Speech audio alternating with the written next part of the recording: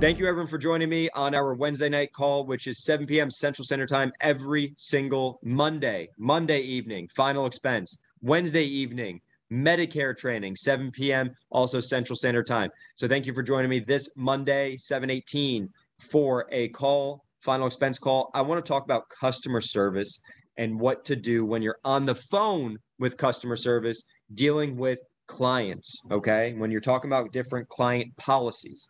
So we have a couple different rabbit holes to go down here. When you see a client's life insurance policy, you're looking at it. You don't always know what you're looking at. You might be green, you might be new. You don't always know what's in the policy. You don't know about a UL, universal life policy. You don't know what questions to ask the customer service representative on the phone when you're talking with them. Okay. So what I do is I got a bunch of different options and, and paths that we can go down that'll help us understand the different questions that we need to ask the client and the insurance company on the other line. Okay. So we could start off with the easiest one. Okay. We'll start off with number one, which is the easiest, which is an independent agent selling a whole life policy. Okay. And we could talk about the facts that we need to gather, just the normal stuff that y'all should write down, the facts that we need to gather.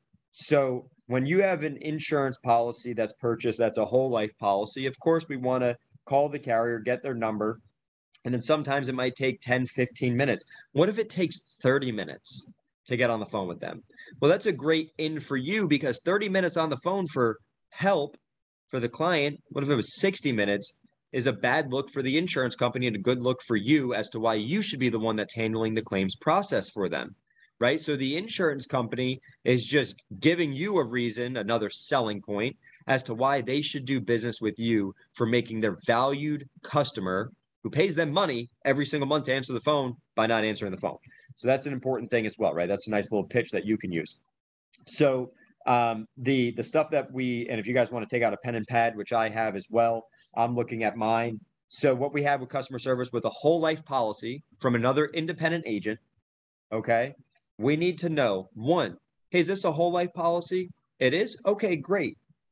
With this whole life policy, do they have to wait at all before the policy starts? No? Okay, great. Well, that's good to know. And then when I call these companies, I'm usually calling under the guise of me saying, I'm going to order you another policy because I work with these companies, either because you have one already and maybe your daughter needs one, your son needs one, your husband needs one. It's good for you all both to have copies, right? Just in case something happens, the house burns down. We know who the insurance company's with. And since I've been working with them for this many years, right, they're a great company. I'll call them, I'll have them order you another policy real quick. Or maybe they don't know, right? They don't know certain things about their policy um, and they have questions about it themselves and they want to know because you've you know, as an expert, you kind of intrigue their interest. But for you, right, we need to know when we call them, we figure out there's no two year waiting period. We want to know, hey, how long have they had the policy for? That's important. So we call that the effective date. How long have they had the policy? Okay. Let's say they've had the policy since 1 1 of 2015. Well, that's great. How much money is the death benefit? How much money would her daughter get? Well, her daughter would get 15,000. Okay, great. And I just want to confirm the beneficiary is right. Make sure the beneficiary is right. Instead of them having to go through a process of changing a form, some companies need it to be notarized, right? Might just be easier for them to get the next question cash value. How much is the cash value in the policy? That's an incredibly important thing. I also like to ask another. I know we went over non forfeiture options on the other call, but there's three of them cash value, reduced paid up, and extended term non forfeiture options. Those are just the options that you get to take out of a policy if you ever decide to cancel it. Or if you decide not to cancel the policy, right, you could go ahead and get reduced paid up insurance, which is simple. It reduces the face amount of the policy, right? And the cash value is basically buying paid up insurance inside of a whole life policy. Okay. You could do extended term, which extends the life life of the policy for 10, 15, 20 years. You never have to make another payment again. Your cash value buys a term policy inside of it or extends the life of the policy. So I want to know the effective date of the policy, how much insurance they have. Want to confirm the beneficiary. That's always good. Another reason as to why you can sell a policy, right? We'll get that updated for you with the new one that we're going to send out in the mail. I want to know the cash value, the exact dollar amount right? $1,200, right? I want to know the reduced paid up, which could be double, could be $2,400. As a good rule of thumb, maybe multiply it by 1.5, the cash value multiply by 1.5 or 2.0, and that's going to you know give you somewhere in the ballpark of what the reduced paid up should be, right? It could be double. Every company is a little bit different on how they they calculate it. So I really want to know that stuff. Okay. How much are they paying per month? How much is your premium? So the premium could be $50 a month. Okay. So to walk through it real quick, when's the effective date of the policy? How much insurance do they have? Want to confirm the beneficiary? How much cash value do they have? How much reduced paid up insurance do they have? And how much are they paying per month? Another question that we can always ask, we'll ask it when we get to the next question, actually, to make it a little bit easier. So that's the questions I want to ask. Okay. And this isn't necessarily a call on what to do with the information when you get it. These are the questions to ask on the policies. The next one is another whole life policy. Okay. But remember when I said it was sold by an independent agent, right? Or even a captive agent, it doesn't matter. Just someone that's not direct to consumer marketing, right? So uh, another whole life policy that could be what we call DTC, which is direct to consumer marketing. That direct to consumer marketing is going to be what? That direct to consumer marketing is going to be generally a two year waiting period with those whole life policies. Okay. So those whole life policies that we have there, that two year waiting period is going to be a major selling point as to why we will be able to help this client as long as they qualify for a graded death benefit, which a true graded is 30% of the face amount in year one or 70% of the face amount in year two, or they qualify for immediate coverage, which is no two year wait. And hey, you die the next day, it pays, as long as everything you told me was true. So the whole life policy that is direct to consumer, we want to get all the same information that we got from the other one, but we want to start allowing the insurance company to hang themselves with certain questions that help us as agents look like we can provide a better solution than the one they currently have, right? We're selling solutions to problems that they have, even when they don't know that they have a problem. That's the biggest thing. So we have a whole life policy that's direct to consumer marketing. These ones are going to be ones that are two year waiting periods. So if there's a two year waiting period on a client's policy, we definitely want to know the effective date. So let's say the effective date is 2 1 2021. We know that they have seven months, somewhere in that ballpark, right? Seven months left of a waiting period. Wow, that's unreal. We need to really harp on that pain point. It's a pain point. And they may not even know it. They don't know. So I'll tell you the questions that we need to ask, which is the same as the other whole life questions we need to ask when the policy started. That's even more important with a two-year waiting period. We need to ask how much insurance it's how much insurance it is, how much they're paying, how much the cash value, how much the reduced paid up, confirm the beneficiary, right? So we want to do all that stuff like we just did with the prior one. But the next thing that we really need to ask them is with this policy, they got it through the mail. Is this a is this a, a two-year waiting period or is it kicking immediately? And when the rep comes back and they say this is a two year waiting period, what I want to say is wow. And then I mute the phone and I look at the client and I say to the client, You've had this since mute, you've had this since 2021. If you died tomorrow, this wouldn't pay. If you had car insurance and you made payments on the car insurance and it didn't pay when you got into a car accident, you'd be pretty upset, right? Yeah. Do you even want something that's two year waiting period? They're gonna be like, no, because you've already looked at their meds. So what I do is I I unmute the phone and I go back to it and I say, hey, can you kind of explain to us how the two year waiting period works? I play dumb, right? I play dumb with this stuff. How does the two year waiting period work? That's a great question. I'm glad that you asked that question. Okay. So what I do when I ask that question is I have them then explain how the two year waiting period works. So the two year waiting period, why is the two year waiting period so important? Because if Miss Mary dies in the first two years, what does it pay? Well, it only pays what she paid into it back plus 10% interest. Oh. So just to be clear, if she died tomorrow, it would only pay what she paid into it back plus some interest. Yeah. Okay. Um, that's good to know. So, huh. Okay. Well, that's absolutely fine. And just to confirm, we got a $15,000 policy for $50 a month. The cash value is $1,200. The reduced paid up is $2,400. And she's had it since 2 1 2021. So she's still got seven months left in that two year waiting period. Is that right? And they say yes. Okay, great. And then can you give me the policy number? So I always want to get policy numbers on this stuff. Why? Because if we got a fax and a cancellation, right, we need to do that. Remove it from the bank draft. And when you got them on mute, you can just ask Ms. Mary, hey, is that something that you even want? No? Okay. Well, I don't want them taking any more money out of your account. So let's just remove it from the bank draft. Okay. So we can do that too. So we can always have them remove it from the bank draft, which is a very, very important thing for them to do. So we want them to go ahead and remove from bank draft. So that way they're not drafting any more money out of our client's account, which obviously isn't any fun for the client at least. So uh, let me go ahead and go to the next one over here. Just one second while I do this. Okay, cool. All right, so the next one that we have here is our increasing term policies. All right, so what does increasing term policy mean to us? An increasing term policy is something that goes up in price every five years, generally based on the anniversary year of the policy or the birth date of the client. So it could be, you know, if they got it five years ago in August, it's going to go up in five years in August. If they got it when they were 62 years old, the policy could go up at age 65, then goes up again at age 70, then 75, and then ends at age 80. So the same questions that I asked for all of them, the most important ones, how much you pay in a month, how much insurance do you have, and when do they get it? Perfect. Great. Now, with these term policies, increasing term policies, we know that there's no cash value.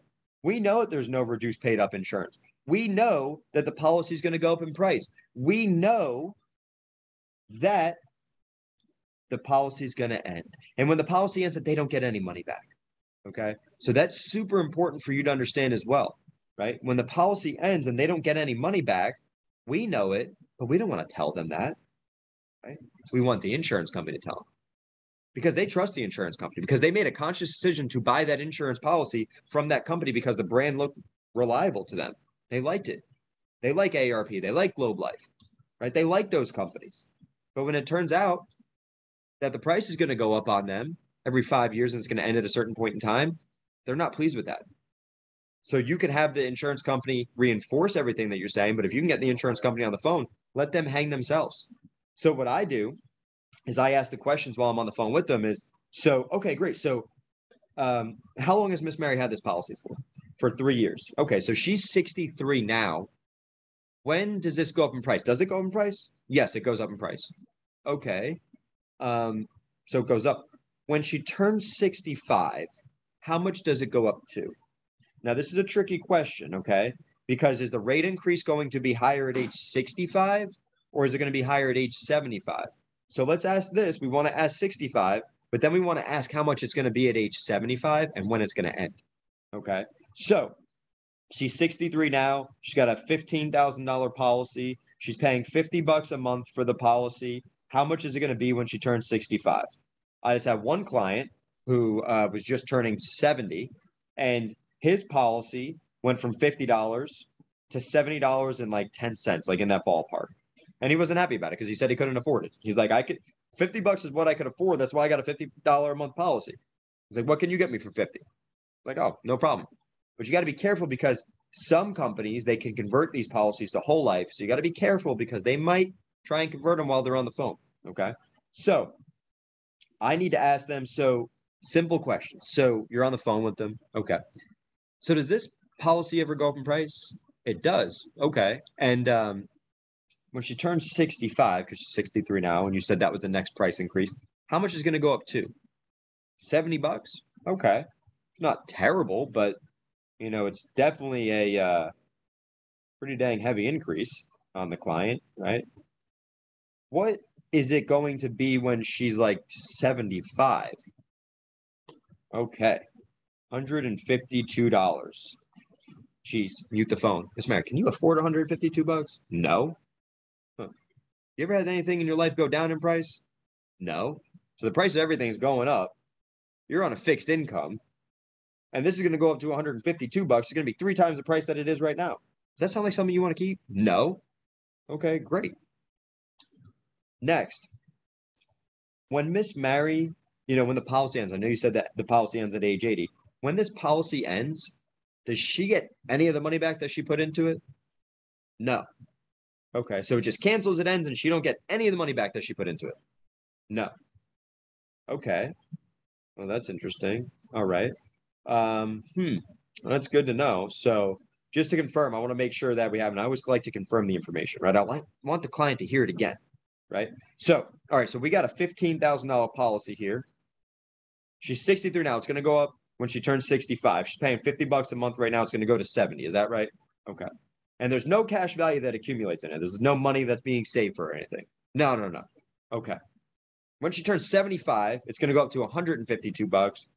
And then at age 80, it's just going to end and she don't get no money back. Is that right? Okay. Mute the phone. Miss Mary, is that something that you even want? Ask her again. Nope. Okay. Do you want to just tell him just to cancel? We can get you something way better than that. It's not a problem. Unmute it. Yeah, just go ahead and cancel that. Right? Client's going to have to tell. So that's an increasing term policy. Now, the other one that we're going to run into is the universal life policy. Okay. So, universal life policies can definitely be confusing. I'm going to look in the, the chat to see if anyone's got any questions too, by the way. So if you got questions, just um drop it in the in the chat. Universal life policies can be confusing for you. Okay. Now they're confusing for you as an agent. They're definitely confusing for the client. Okay definitely confusing for the client. So a universal life policy is kind of like a hybrid between a term and a whole life policy, right? It can last your whole life. It might not last your whole life. I don't know. Depends how it's built. Depends on the interest rate. Depends on the quality of the product, right? Depends on a lot of things. There's a lot of factors here. Are you paying the minimum payment? Are you overfunding it? Right? Who knows? I don't have the answers to this stuff. That's who I got to get on the phone with the insurance company asking. I just had one client actually um, and that's a reminder, something that I got to do, is that she just had a universal life policy that was going to end at age 78 and she's 76. And she no longer wanted to pay $200 a month into it. She'd rather just increase her, her whole life policy. So what she did is we got on the phone with the insurance company and we asked them all these questions. We're like, okay, so since a universal life is kind of similar to a whole life and kind of similar to a term, how much cash value does she have? That's like the number one most important thing when it comes to universal life policy. And then you ask the rep, keep in mind the rep's only getting paid about 15 bucks an hour. They're a customer service rep. I'm not as sharp as you are as a, a full-time insurance agent that knows this business. So you have to ask them these guiding questions to guide them in the direction that helps us understand the situation better to tell them if it's a good policy or if it's not. And if it's a bad policy, what it's going to do, it's, it's going to help guide them in the direction of working with us. Okay. Working with us so we can help them. All right. So, understanding a UL is a video that we did already. So, we have that. So, I don't want to go in the weeds about that or go too in depth about it, but we need to know what the cash value is. And I'll tell you why we need to know what the cash value is. We need to know the same thing the premium. How much are they paying a month? How much is the face amount of the policy? Okay. They're going to have more face amount with a term policy than they are a whole life policy. They're going to have more face amount with a universal life policy than they will with a whole life policy for the same premium. Right? It's just the way that it works. Okay. Because it you it may not last your whole life, right? There's no guarantees. So we need to know the cash value, the face amount, how long have they had it, right? The effective date. Um, we need to know the uh, COI, the cost of insurance. We need to know if it's increasing, if the premium is going to increase anytime soon which we're going to figure out when we get the cash value, right? Um, we need to know if it's guaranteed to last their whole life. Is it guaranteed to last their whole life? It's a good question to ask. Don't you think the client would like to know if it's guaranteed to last last their whole life? More than likely, they got life insurance for it to be there when they die. And if it's not guaranteed, it's not a whole life policy, right? If you're, and what I tell clients is if, if you ever forget the difference between the two, a whole life policy means that it lasts your whole life. If you ever forget the difference, just remember the name. A term policy means that a term is short for terminate. It just terminates, it ends, and you don't get any money back. That's that's the two. So simple. So universal life policy, right? We figure out how much cash value is in the policy. So we want to know how much cash value is in there because the cash value is going to determine how long the policy is going to last or how long the policy is going to last until there's going to be increases in premiums and the clients can't afford it anymore.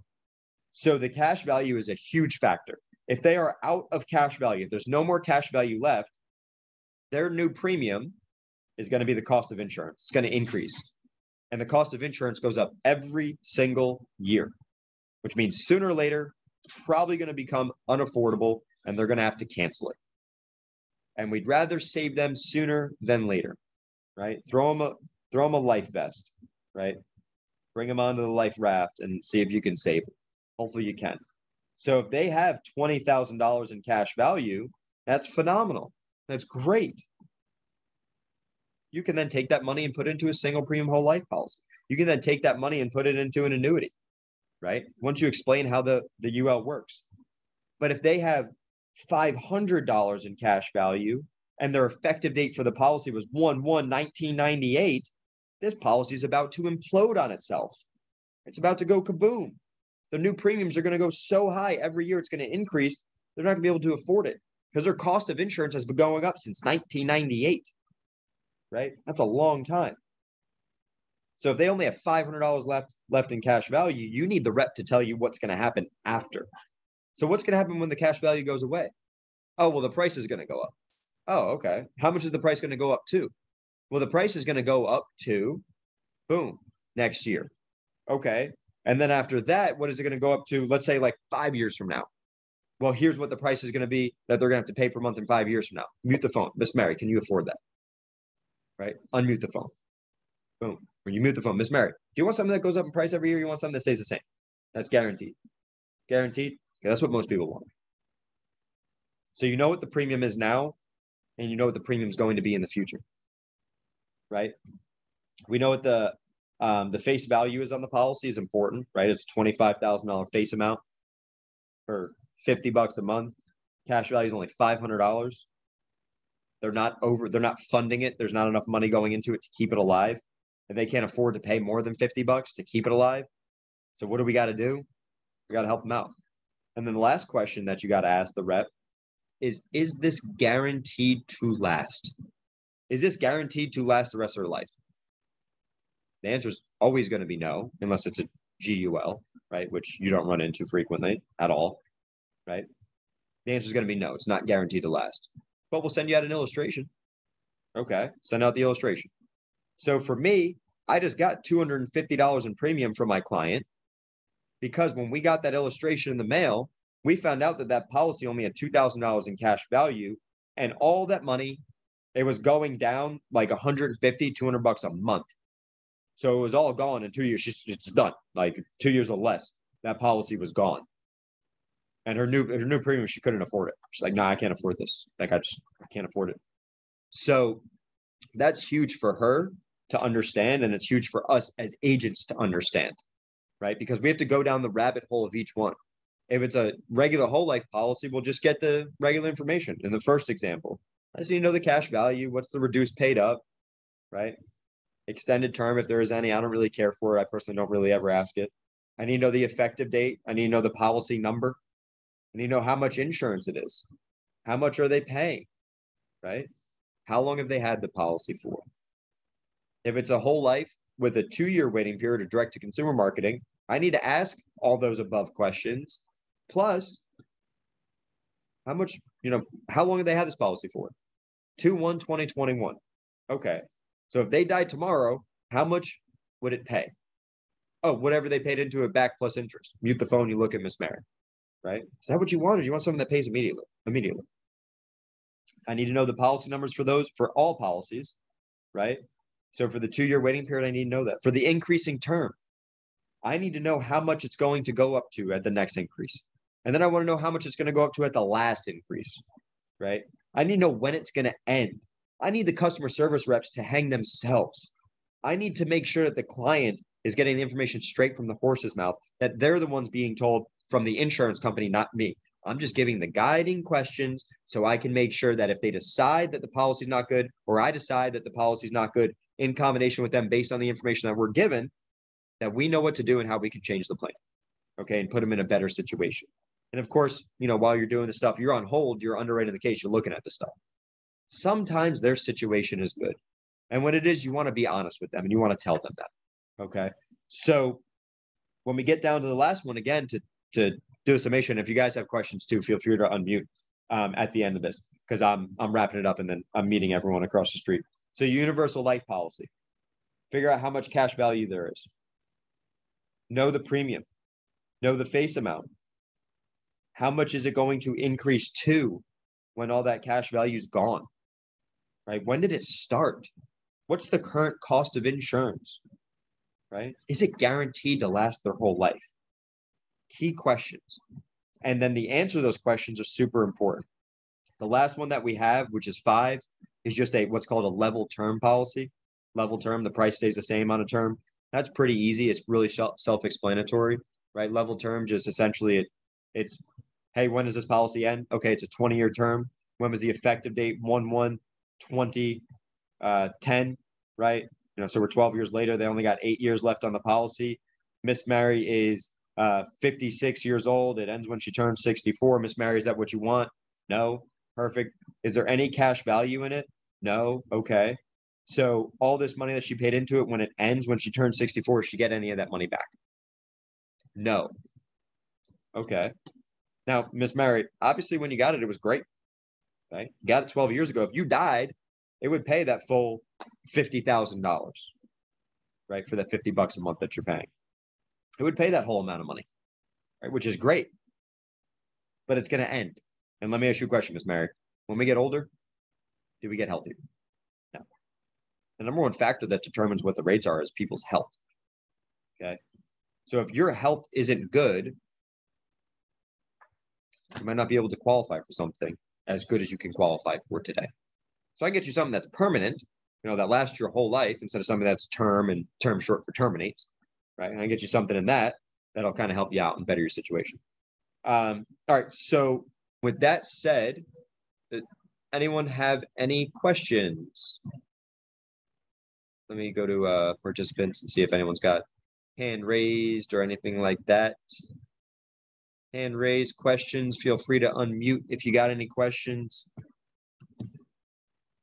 All right. Well, as per usual, I appreciate y'all. Sorry, sorry to uh, make it a shorter call this evening, but I'm in St. Louis. We're doing a ton of training. So uh, the Wednesday night call is still on for Medicare. So I'll see you guys next Monday, 7 p.m. Central Standard Time. And I appreciate everyone joining as per usual. Uh, text me, email me, reach out to me, let me know whatever you need. And I appreciate everyone's time. Have a good evening.